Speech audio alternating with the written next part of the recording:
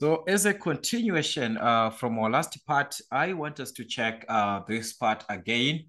Uh, when we are measuring internal tapers of uh, taper ring gauge, we use precision balls as we talked before. Uh, so we're asked to study fig 1, B, uh, fig 4.9, A 4.9, B 4.9, C, and then uh, follow the given procedure whenever you are to have or you are to calculate uh, our calculations later on. This is the requirements that you are going to, to need. So if we are to check properly here what we are given, if we are given a roller down here, we are going to have the distance from the top, which is our x. This one is going to be referred as x. It is going to be having its own diameter, just like the bigger one, it is going to be having its own diameter and covering a distance from the top of y like this. This is our y here. So if you take into consideration x and y, they are linking up together because this is taken, remember, at the end on the top here, it's a tangent. So like this, it's a tangent here. So it means if we consider at the top of the, the one, uh, the bigger, uh, uh, if you're dealing with the bigger ruler on the top there, you are going to see that this is our distance that we had before. It was covering up to the end, up to the top. So X was part of this. X is covering everything like this. X is supposed to cover everything up to up to Y like this. This is your X. Take note about your X. This is going to be our X. So what we are going to see is that with a triangle being drawn, uh, remember the concept that we have if we are to consider that we are to draw a triangle, all right, if we are to have a right angle triangle in this case, all right, up to, up to this point, like this, all right, like this. So I'm just gonna follow the concept to say if we, if this line is gonna meet the tangent here, we know that it's gonna be at what? At 90 degrees. If it reaches the tangent here, it's gonna be at 90 degrees. So it follows that this angle is going to be also at 90 degrees there. Right. So we're going to talk about the distances. I think if we have it in form of a uh, this one, I think they try to explain something that is better that we can understand. So how to test the included angle of a taper ring gauge using precision balls. You place the taper ring gauge on the surface plate as shown in fig 4.9, which is the one that we're given in the previous case. Now we are putting this into our calculations. We are now putting this into our calculation. All right.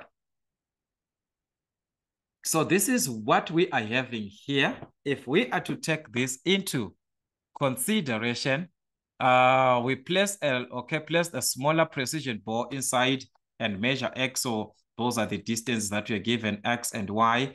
And this is the one that we're going to have on our diagram X and Y at the same time. So like I said, this X here is uh, covering up to the end. It is supposed to go up to the end. This X is not here. It's up to the end. Yeah, I don't know how, what happened here with these guys. This is supposed to be up to the end like this. Supposed to cover up to the end like that. All right, so from these calculations uh, that we are going to have uh, from our constructions, Let's say I have constructed a radius, all right?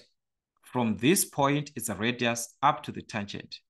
It's a radius there, which is the same concept that we are having here. If we join this up to this point, it's going to be at tangents at 90 degrees. So joining this, we are formulating a right angle triangle here. We are formulating a right angled triangle. So let's just call this point A, point B, and point C. So this is what I want you to understand about these guys here, because we are going to just need the formulas there to answer this question, but This is what you need there, making the right angle triangle. Uh, think, okay, this one is now a crescent. So let us just have it aside. So if we consider, we are going to see that we are going to need the distance, this one of AC. AC, it consists of this distance. It means X is involved. Remember, guys, our X is supposed to be on top. So AC is involving the part of X is there and the radius. So there we have got the radius of the smaller one from here to here. We've got the radius of the smaller one. Uh, then if we move from this point up to this point, we know that X is involved there, here, X is there.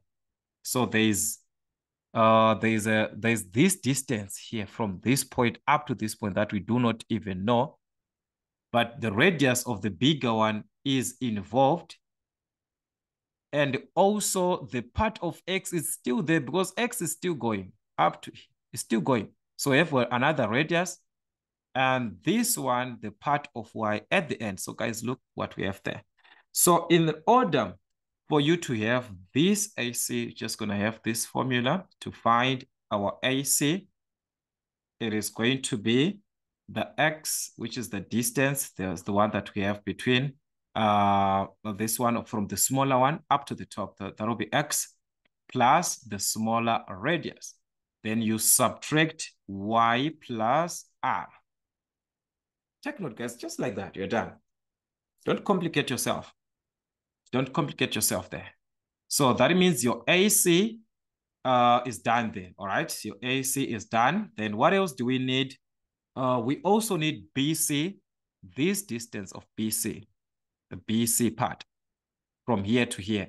So from that BC, the one that you're going to have on your diagram is simply uh, the difference between R and R. So these are the formulas that you're going to need and with these formulas, you can calculate whatever that you needed. So guys, I don't know. Can you just memorize these two?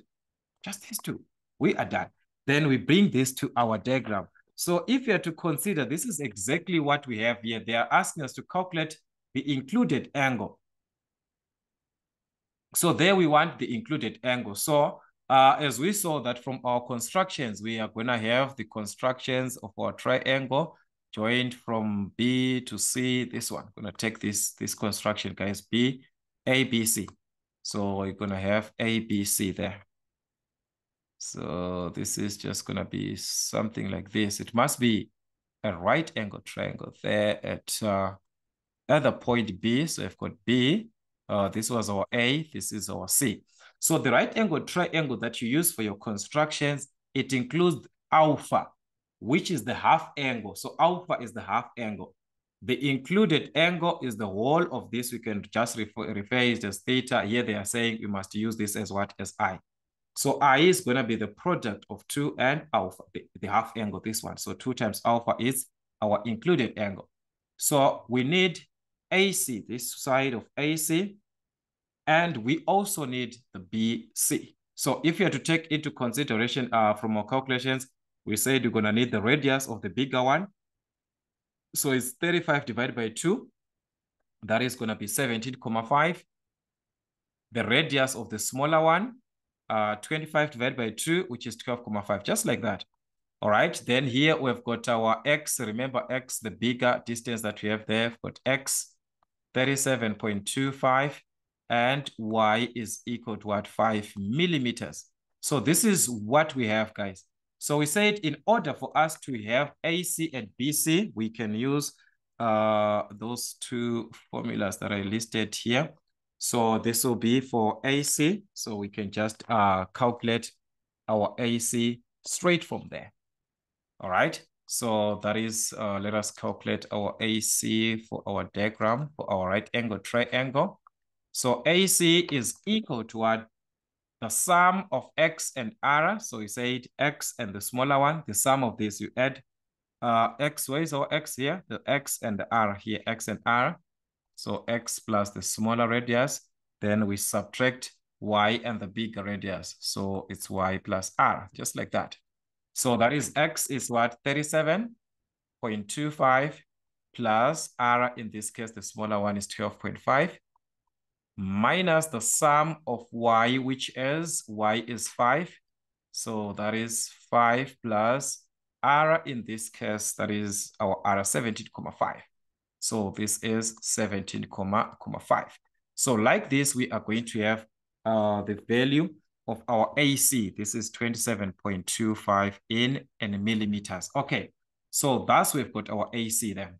So with this AC, uh,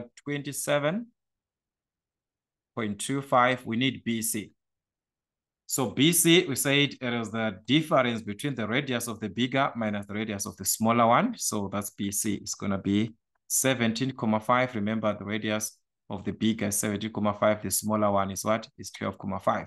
So if I subtract this, I'm going to get 5 millimeters. So that's, I've got 5 millimeters there.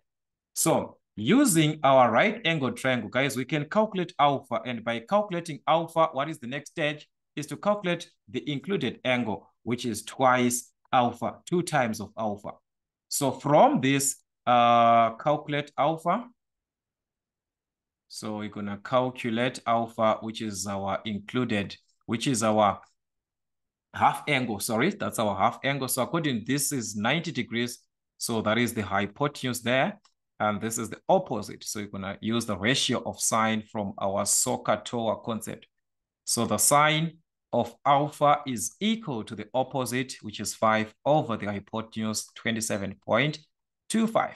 So that is it. If you want to do this mathematically, guys, you do not want to struggle with these major constructions, this and that. Guys, this is it. You are done you are done. So alpha is equal to arctan. Uh, this, which is going to give us uh, 10,573. That, that's it.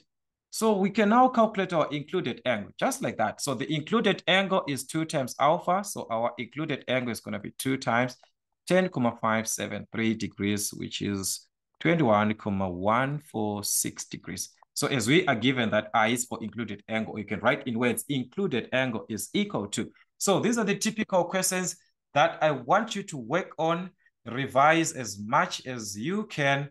Exams are ahead of time and they expect you to apply this way. If you want to pass your exams, uh, follow these steps, you actually know uh, exactly what they need in your mechanotechnics. That's it, guys. Till we meet again.